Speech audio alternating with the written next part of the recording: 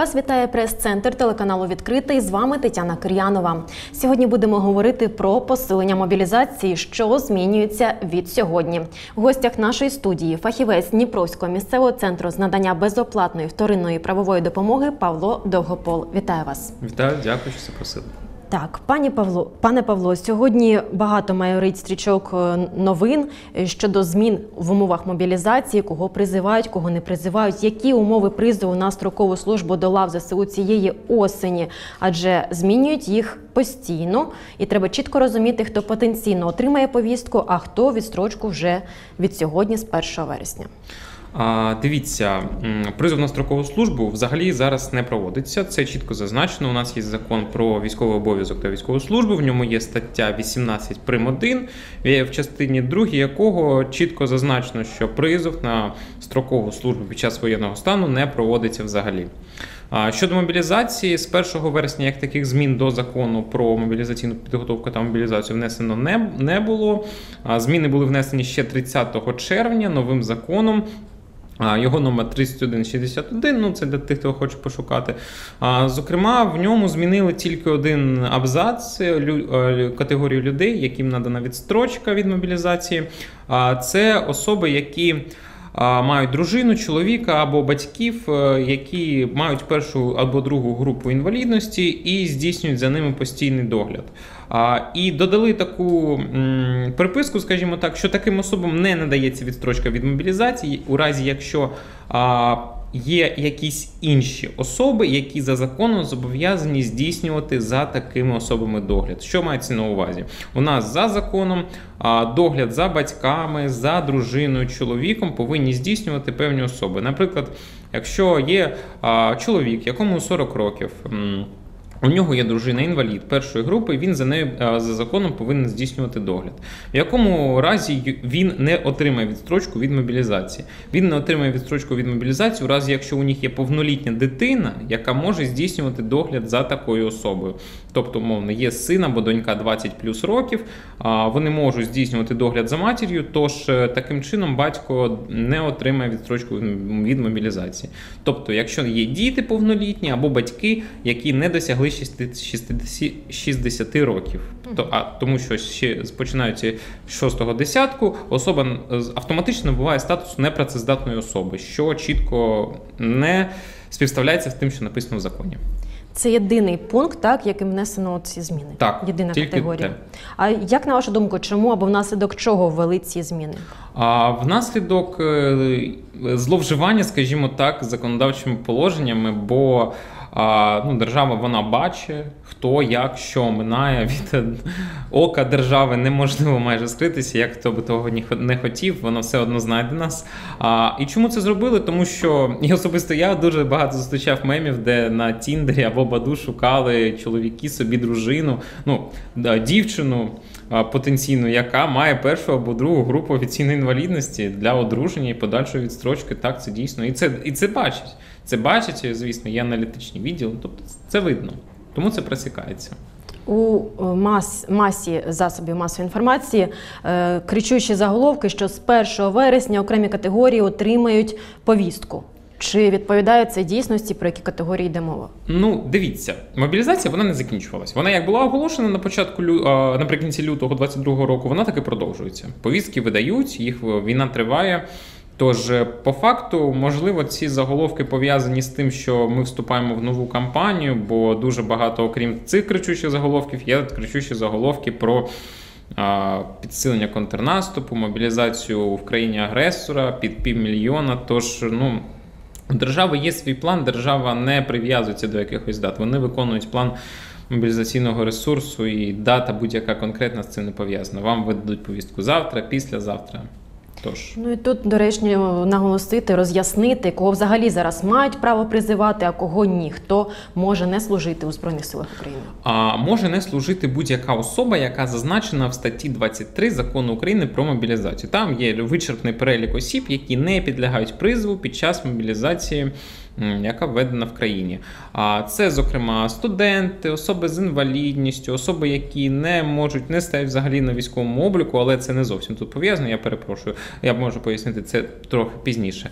А, Які здійснюють догляд за інвалідами, ось як я зазначив, догляд за а, родичами інвалідами, а, догляд за звичайними інвалідами, тобто на на платній професійній основі або просто так за душевною потребою, скажімо так, і деякі інші категорії осіб, там вони всі зазначені. Також призову під мобілізацію зараз не підпадають будь-які особи від 18 до 27 років, які не мають досвіду військової служби. Ну, по закону, принаймні так. І чому? Це дуже влучне питання. Я питався, я намагався його дослід, дослідити, там годин 5 сидів, виясняв. Тому що чому це чітко не зазначено в законодавстві. Тобто не написано ні, ні в якому законі, що призову під час мобілізації не підлягає особа, яка не має досвіду військової служби і їй від 18 до 27 років. Це цей висновок я синтезував з наступних норм. Отже, в статті 23 закону України про мобілізацію вказано, що призов під час від мобілізації підлягають наступ, не підлягають, перепрошую, наступні категорії військовозобов'язаних. Я прив'язався до цього. От, Отже, ми йдемо до закону про військовий обов'язок. Він виокремлює деякі, він а, в своєму. Скажімо так, полі впливу виокремлює наступних категорій осіб: це допризовники, призовники, військовозобов'язані та резервісти. Військово-призовники це особи, які приписані до призовних дільниць, і їм від 18 до 27 років. Військово-зобов'язані, про які йде мова в закон про мобілізацію, це особи, які переведені в резерв. Коли особа переводиться, набуває юридичного статусу військовозобов'язаного. Перший варіант вона досягла 27 років, і військомат автоматично переводить її військовозобов'язаного. Або вона пройшла військову службу строкову або контрактну. Тож після цього її теж автоматично переводять а, на в статус військовозобов'язаного. От тому і у нас, скажімо так, призов під час мобілізації, вік призову це 18-27 років. Тобто, умовна особа 18 років відслужила по контракту. В 21 вона його закінчила, тому що контракт це звичайний строк 3 роки, і вона вже військово зобов'язана. Тож вона підлягає під мобілізацію, не дивлячись на її вік. Але якщо ви не служили ніколи, і вам від 18 до 27 років, Тож ви не можете бути призвані під час мобілізації. Зокрема, це а, і стало причиною такого Дещо резонансного ну, який теж викликав кричущі заголовки закону про зниження граничного віку перебування в призовному віці, тобто до 25 років. І саме тому пан е, міністр оборони Олексій Резніков коментував, що таким чином вони збільшать мобілізаційний ресурс, тому що по факту зменшить на 2 роки е, кількість осіб, е, ну, категорії осіб, яка не має підлягати під мобілізацію. Ну так, не розібравшись, виходить плутанина. Дякую, що да. роз'яснили. А пане Павло, чи змінило щось із повістками та їх врученням? Про що треба зараз знати цивільним? А, Треба знати перше: повістка завжди може бути вручена в будь-якому місці. Це таке на початку війни це було дуже актуальне питання, е, поки його не роз'яснили, його і далі продовжують роз'яснювати. Але знову ж таки, в законі і в нормативних актах, це зокрема про військовий військову службу та військовий обов'язок, про порядок проходження військової служби, про положення про міністерство оборони, про РТЦК та СП і так далі. Не вказано конкретне місце, де повістка може бути вручена. Вона є порядок, е, як вона повинна бути оформлена і як вона буде вручена, не де, а як. Це важливо. Угу. Повістка повинна бути вручена за вашим особистим підписом. Вона вона повинна бути на вас видана. А як вона видається? Голова РТЦК та СП видає розпорядження, в якому йдеться певний перелік осіб, які підлягають мобілізації. Повістка може не бути на вас прописана конкретно. Проте, якщо на вас немає розпорядження, то ця повістка ну нікчемна. Ага. Дякую. А чи має право працівник військкомату вимагати документи, що посвідчує особу? Скільки я знаю, в законі цього не передбачено, тому особа, яка працює в військкоматі, повинна бути в супроводі е, поліцейського. У поліції є таке право. Чи правда, що строковики тепер можуть добровільно мобілізуватись? Так. Це якраз зазначено в тому ж самому законі 3161, який ну, вніс змін до мобілізаційного закону. Строковики, які не закінчили цей, скажіть мені, час перебування на строковій службі або вже закінчили і просто переведені, вони можуть укласти контракт з Міністерством оборони на загальних умовах. Це зроблено тому, що строковики під час якщо вони були призвані на строкову службу до військо до введення військового стану, то вони не звільняються. Це чітко прописано, що особа на строковій службі перебуває до закінчення військового стану або до оголошення демобілізації в цілому особистого складу.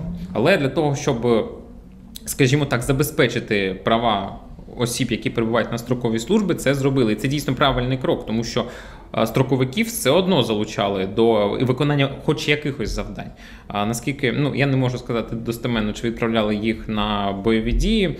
Але їх залучали точно до принаймні тилової підтримки, і за за це вони отримували ну не таку гідну зарплату. Всі ми розуміємо, що будь-який праця, особливо під час військового стану, коли гроші мають значення, то це дуже влучний шаг крок.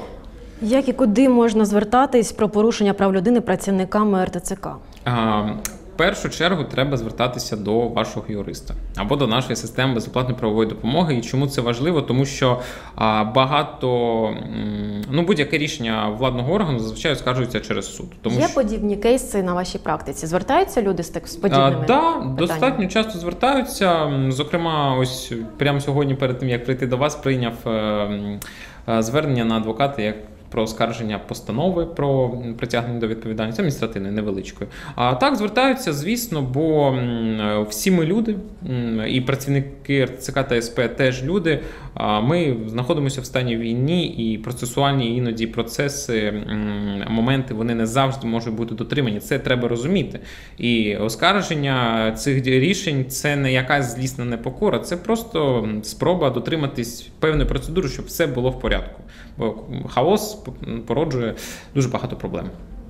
Є також певні історії, випадки серед наших громадян про ВЛК. Якщо людина непридатна за станом здоров'я, лікар їй пише, що здоровий. Що робити в такому випадку? А що робити в такому випадку? В першу чергу треба звернутися до Центральної військово-лікарської комісії. Вона знаходиться в Києві, а це центральний орган, який може винести рішення про скасування постанови вашої, яку вам винесли при вашій військовій частині або в лікарні, і направити на повторний переогляд. Але складаючи заяву, вона потрібна містити аргументації, принаймні, хоч якісь а будь-то процесуальні, тобто ну неправильно вас направили, наприклад, на ВЛК, без розпорядження керівника. Вас просто прийшли до вас в палату, сказали вам ходімо, а, і ви пішли. Це порушення процесу. А, Або медичним. З медичної точки зору все важче. Тож для цього, для правильної аргументації медичного висновку, треба, звісно. Довідки якісь про стан довідки, здоров'я, медицинська так? освіта теж, тобто експертна. Можна оскаржувати через суд, але знову ж таки для цього треба залучати експерта з фахового профілю медицини, тобто будь травматологія, ендокринологія, гастроентерологія і так далі.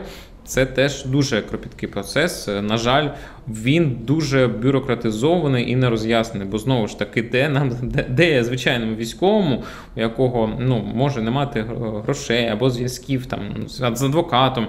Де йому знайти целу когорту лікарів, щоб вони пояснили судді, що це те, що написано в постанові ВЛК, це неправильно. Так, незаконно. Інформаційний простір заповнений також новиною про те, що Полтавський суд визнав наказ Зеленського про мобілізацію необов'язковим до виконання. Чи бачили ви це і як прокоментуєте? Так, я це бачив, і я хочу сміятись. А, а насамперед. Це дуже цікавий такий кейс. Я на своїй практиці, ну я дуже багато читаю судових рішень, ще не, е, жодного разу не зустрічав таку маячню. Вона написана дуже погано. Вона написана, начебто, її писала якась першокурсниця. Ну тобто, вона написана дійсно погано, не юридично. Але. Логіку судді вона викривлена, але я її дослідив. Чому? По-перше, він в чому була справа? Давайте так. Справа була в тому, що особу притягували до кримінальної відповідальності за порушення права мобілізації. У нас ми знаємо, є відповідальність адміністративна, це порушення правил військового обліку, а є ухилення від мобілізації. Це вже кримінальна стаття. А Особу визнали невинуватою, тобто виправдальний вирок. Це була кримінальна справа, що дуже важливо. А, Чому? По-перше, Кримінальна відповідальність е, в такому ж випадку настає, коли особа порушує приписи в повістці про мобілізацію, тобто вже повістка про мобілізацію прийшла. І в такому випадку її порушення настає кримінальна відповідальність. Логіка судді під час винесення цього рішення була така. Далі слідкуйте за руками, там дуже ну, теж е, дуже вона е, схована. Отже, в першу чергу ми знаємо, що РТЦК це орган Міністерства оборони. Міністерство оборони це складовий орган Кабінету міністрів. Суддя посилався на наступне. В, Конституції є 93 стаття, зокрема пункт 12. В цьому в цій статті написано, що виключно законами України визначається, що пункт 12 це організація, порядок і так далі діяльності органів виконавчої влади. Отже, Кабінет міністрів це орган виконавчої влади. Про нього є закон. Є закон про Кабінет міністрів. Тобто, але суддя керувався наступною логікою, що Міністерство оборони, будучи органом виконавчої влади, повинно теж функціонувати на підставі закону. Проте закону про Міністерство оборони не існує, як і про будь-яке міністерство. Тому суддя визнав, що Міністерство оборони є органом нелегітимним, тобто такий, який взагалі працює всупереч Конституції. Отже, РТЦК, як, ну, як утворення Міністерства оборони, в свою чергу, є теж незаконним. І будь-який документ, виданий ним, незаконним, є теж і виконанню не підлягає.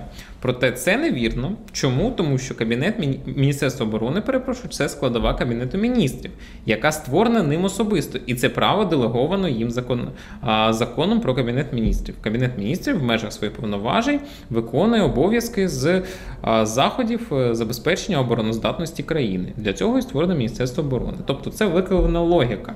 Проте. а, Такий вирок був винесений. А щодо законів, е, там дуже було цікаве формулювання. А він назвав усі закони про мобілізацію, про укази Кабінету міністрів, вони так звані закони. Тобто, Мгм. явно не, уточнюючи. Да, а, е, так, скажімо так, це було зневажлива, зневажлива позиція судді. Тобто а, він посилався на міжнародні норми. Ну, в більшості своїй логіка його обґрунтування нелегітимності і нелегальності цих законів полягала у тому, що є міжнародні норми. Проте, за загальним правилом, міжнародні норми вони в ієрархії, скажімо так, юридичної сили займають друге місце після Конституції. Ну, якщо вони, звісно, прийняті державою. Але знову ж таки, колись ми з вами це обговорювали, є момент національної безпеки. Коли е, стоїть питання важливості національної безпеки, то міжнародні норми не мають значного впливу. Тобто держава е, захищає сам факт свого існування. Дотримання деяких прав, звісно, воно дозволяється і обмежується. Дякую, що роз'яснили. У нас в нашій студії є представники засобів масової інформації. Будь ласка, назвіться і ваше питання. Наше місто Олександр. Скажіть, а може е, будь-хто відмовитись там розписатись у повісті, якщо йому там вручають, там іде чоловік на йому так раз повістка, він каже, не буду там е, роз, роз, підписи е, виставляти і там пішов далі. Може, про це буде складений акт, переданий в суд, і можуть застосувати засоби примусу. Ну тобто його можуть затримати. Ну, прямо- якщо це законне розпорядження, то воно повинно бути виконано. Ця повістка, вона свою, скажімо так, фундаментальну сутність, головну сутність набуває з Конституції. Це просто документ, який зобов'язує вас, як законно оформлений документ, зобов'язує вас виконати свій обов'язок, який прописаний в Конституції. Можна не дотриматись, проте, звісно, буде відповідальність і може бути застосовані заходи примусу. І є якісь там юридичні підстави під те, що ну, як когось там призвали, багато таких випадків, там чиїсь там діти, і е, там, там через там, пару-тройки там, днів ч- чоловіка відправляють там, кудись там під, під Бахмут. Чи його там е, ну, навчити треба, та якийсь там термін е, уч- там є. Е, на жаль, такі випадки трапляються. Це, звісно, не поодинокі випадки. Ну, до нас особисто не звертались люди, які штовхнулися з такою ситуацією. Я приблизно, ну я гадаю, порушення чи ні? це, звісно, є порушення. За це командири цих частин, до яких е, особи були направлені, повинні нести відповідальність. А, ну, юридично це порушення, так. Не можна відправляти особу непідготовлену прямо, як ви кажете, точки. під Бахмут на, на нуль. Це Ну, це із моральної точки зору не дуже суспільної, і з закону. Тобто особа повинна пройти певну підготовку. Це а, тактична підготовка, перша медицинська допомога. Тобто, це все особа повинна знати, бо а, ну, це нелогічно особу відправляти в такому стані. Вона більше нашкодить і собі, і іншим. У нас є ще запитання, будь ласка. Ганна Вернігорова, інформатор. Е, Павло, е, уточнене в мене запитання. Скажіть, будь ласка, бо я вчора читала е, дуже багато сайтів. Вони кажуть, що зміни відбулися а, тільки переліки е, тих категорій, які ну коло звузилося. Так, там е, були там е, народні депутати, відсрочка від призову, так а потім там багатодітні родини, там і так далі, так далі, так далі. А ви кажете, що вони на- навпаки додали ще категорію. Так я от заплуталась. Вони А, ні. звузили коло чи вони додали категорію? А, ні, дивіться. Вони коло звузили. А, дивіться, закон про мобілізацію він ж мон- моніториться на сайті Верховної Ради. І остання зміна, якщо ну, дивитися на сайт, відбулася 30 червня. А, там коло осіб, яким. Які не, не повинні бути мобілізовані, трохи звузили. Їх звузили не самим переліком осіб, а, скажімо так, опціональною функцією. Тобто була категорія осіб, особи, які доглядають батьків, жінок, чоловіків, інвалідів першої другої групи. Все. Додали опцію за умови. Що такі що а, догляд за такими особами не може здійснювати будь-яка інша особа, яка це повинна робити за законом. Тобто раніше, якщо у вас є хоч 30 дітей, 20 років, 18 років плюс, то ви, як чоловік, доглядаючи вашу жінку інваліда умовно або батька мати, все одно отримуєте відстрочку від мобілізації. Зараз ну, це прибрали. Щодо народних депутатів, е, я бачив, що цей закон зареєстрували, проте, наскільки я знаю, він зараз не прийнятий. А, тому що, скажімо так, розмови за нього почалися давно. А у нас процедура прийняття законів вона трохи більша, ніж пройшло взагалі часу від моменту, коли з'явились перші новини про це. І до коли він може бути прийнятий. Тобто на прийняття зазвичай йде до місяця.